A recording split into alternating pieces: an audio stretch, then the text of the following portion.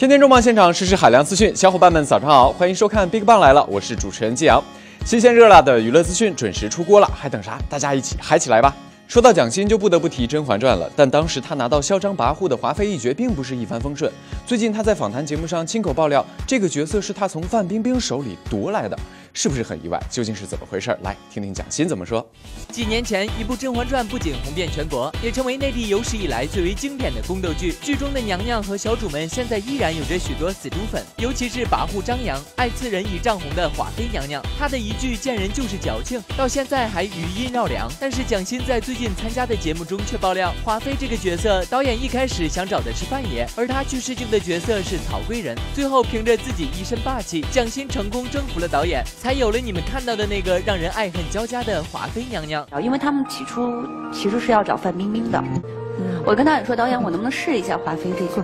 导演说，那个你不是是曹贵人，我说我想试试华妃这角色，他说你不用试，你不适合，嗯，我当时就不高兴了，我说我都试都没试，你为什么说我不合适？他说你不够跋扈，导演我还没演呢，您怎么就知道我不跋扈？然后戴着个眼镜，我在那边，啪一拍桌子一吼。然后就这么看着我，眼睛这么一直举着，然后看着我演。演完以后，最后演完了，大概第二天、第三天的时候，给我给我的公司打电话，就说，嗯，有可能会让蒋欣演华妃。而他在采访中谈起自己正在拍的新戏《半生缘》，也耿直的表示自己其实更想演姐姐顾曼璐，会接演顾曼桢的角色，完全是为了导演和嘉玲姐。不仅戏里霸气侧漏，戏外也敢于接受挑战。蒋欣在胆子这块还真是华妃本妃呀！昨天上午，孙俪飞到香港参加品牌活动，顶着素颜，穿着休闲装，还戴上超 Q 冷帽和大墨镜的丽姐，刚走出接机大堂，瞬间就被蹲守的记者围住了。刚刚在飞机上打了个盹的丽姐，看上去一脸蒙圈，但还是认真的回答记者们的问题。还超 nice 的提醒记者小心撞到。有没有什么地方想去啊？我现在有点懵，因为我在飞机上刚刚睡着，不知道为什么那么多人。谢谢谢谢谢谢关心谢谢。这次来会不会约香港的朋友吃个饭？会，香港很多朋友。对。会看看林杏儿的宝宝吗？呃，杏儿好像明天会碰到他，可能对。小孩是不是生日吧？前几天。啊对对对，刚小心撞的。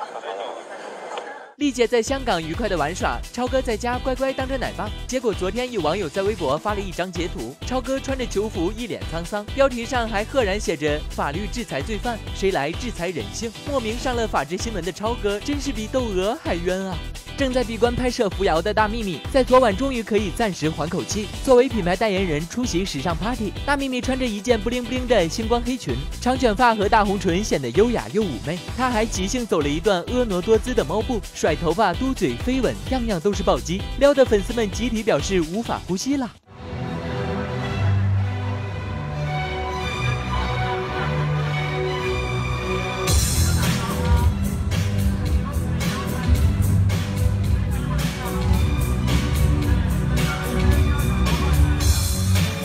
玩归玩，大幂幂还是时刻心系着工作。在接受媒体访问时，大幂幂爆料自己 party 结束就要飞回横店继续拍戏，而且跨年也要在工作中度过，真不愧是敬业蜜呀！呃，暂时的跨年应该是在工作，对。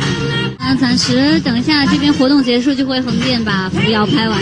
而昨晚大幂幂的两位大亲友，姑父赵又廷和闺蜜周笔畅也去了派对。再次同框的姑姑和姑父两个人喝酒咬耳朵，聊得很开心。但是这回却不玩自拍了，大幂幂这次的自拍对象换成了比比，可怜姑父只能隔着两个人不停的探出头，眼巴巴的望着。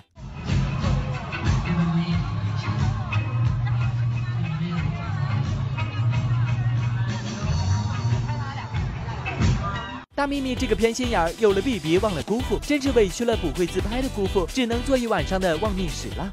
在贵圈有不少妇女之友，比如靳东、王凯、孙红雷等等。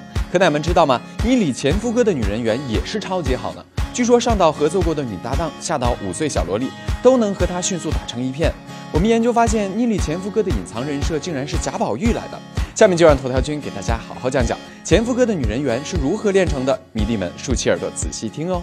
前天在我大企鹅直播的星空演讲，各位胖友想必都没有错过吧？听各路大咖演讲喝鸡汤，来一次灵魂深处的大碰撞，简直不能更励志啊！但是骨骼清奇、脑回路更清奇的头条君还是忍不住深入后台探听起了八卦。我们越来越美的丫丫佟丽娅就爆料起了和朋友之间的二三事，其中提到最多的就是大头哥雷佳音，俩人关系好到什么程度呢？日常互损、打打闹闹，见不到面还要通过视频云喝酒，这亲密劲儿真是非同一般。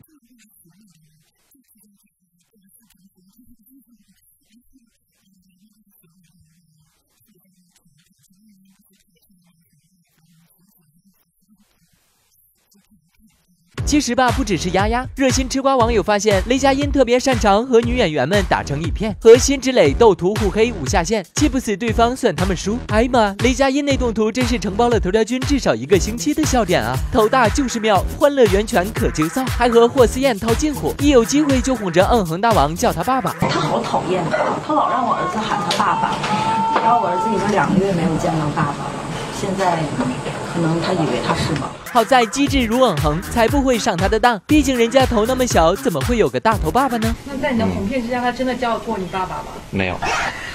和老同学姜岩见面也是分外激动，张开双臂就给对方一个大大的拥抱。谁啊？熟悉吗？谁啊？你看谁呀？二胖啊！啊！我，哎我的天哪！剧组合影时也是和女演员各种搂搂抱抱、贴腰贴脸，和异性关系如此亲密，居然还能让人觉得纯洁无公害，真是强都不服就服雷佳音啊！那么大头哥这种神奇的魔力是哪儿来的？名侦探头条君开启最强大脑模式，经过一番缜密的探查和分析后，终于有了重大发现，原来雷佳音的隐藏人设竟然是贾宝玉。首先呢，他在多个场合自曝，从小就是在女孩堆里长大的，不仅身边女孩特别多，还对他们致以最崇高的敬意。从小我就是在。女孩都得长大的，嗯，然后呢，我知道怎么跟女孩聊天哎，我也很崇拜女性。一直到今天，我会发现，在某种时刻，女孩会比男孩仗义。甭管你多老，真的，女性就是比男性在某些方面会伟大。这不，就连岳云鹏五岁的小女儿都没放过，给人家送了一个足足有两万块的拼图，这是要让人家小姑娘拼到青春期的节奏吗？不过话说回来，雷佳音能有这么多好友，那是因为他是个执着又实心眼儿的性情中人。车晓就曾在直播中爆料，和雷佳音合作电视剧之后，不小心误删了大头哥的微信，结果呢，屋里雷大头哭晕在厕所，清醒后又拖遍娱乐圈半壁江山，想尽办法想加回微信，最后还委屈巴巴的在车晓微博底下留言，让车晓大发善心加回去。一年的时间之内，发现各种人来跟我说把雷佳音加回来，我就阴差阳错的没有加回来。结果有一天我在家，我看见那个音写那那个那个手机上面写最新一条微博评论，雷佳音说：“我到底怎么你了？你把我加回来呗。”此情可感天动地呀！厉害了，我的大头哥！如此多情的雷佳音不怕老婆吃醋吗？人家可是说了，自己和所有女孩都是朋友，但最好的朋友是自己的老婆，两个人恩爱着呢。我女朋友是同班同学嘛，啊，这是我世界上最好的朋友。嗯，这俩人呢特有话聊，饭搭子，纯饭搭子。所以啊，最好的爱情不一定是天雷勾地火，也可以是平淡相守白头啊。哎。不知道我这个单身狗在感慨些什么？我们的大头哥不仅在情感方面像极了贾宝玉本玉，成长经历也让人误以为打开了《红楼梦》本梦。少年叛逆期的大头哥辍学、早恋、离家出走，所有令大人心碎的行为全部尝试过，以至于被自己的父亲大人瞧不起。就算最后改邪归正，考了好成绩，依然对他的前途不抱什么希望。请《红楼梦》十级学者观众作答：这种经历是不是也像极了贾宝玉？哎呦喂，头条君真是想给自己的智慧点个大大的赞啊！如果大头哥正拿着手机看我们的节目。且对自己的新人设很满意的话，请牢记我的银行账号六六六六八八八八五二零。好了，以上就是今天节目的全部内容了。有什么想说的、想聊的，大家可以弹幕刷起来，还可以扫描屏幕下方的二维码关注我们的公众号，一起交流互动。在这里要感谢最大的年轻人兴趣互动社区 QQ 兴趣部落给我们的大力支持。明早七点，BigBang 来了，还是一样与你不见不散哦，拜拜。So baby I go，相信别人自己又被伤害，妹妹 I O，小心翼翼，别对世界怀疑，就是改变不如改变自己。Oh baby，有些桀骜不驯有些不可思议，有了些。